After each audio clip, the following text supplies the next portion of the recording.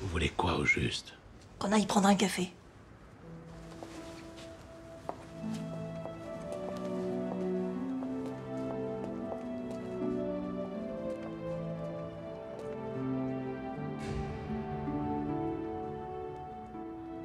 Ça fait drôle de marcher ensemble.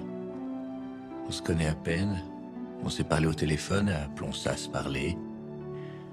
On espère même plus se voir. Et puis voilà qu'on marche ensemble. Pas très droit. Pour un peu, on se prendrait le bras.